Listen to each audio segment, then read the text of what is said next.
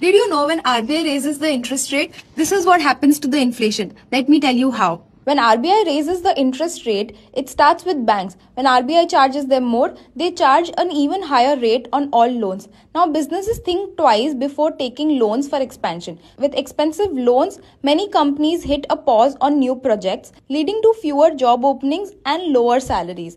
At the same time, higher interest rate makes savings into the bank more attractive. So people start moving their money into FDs and saving accounts for better returns. This means less spending in the market and more money sitting with the banks.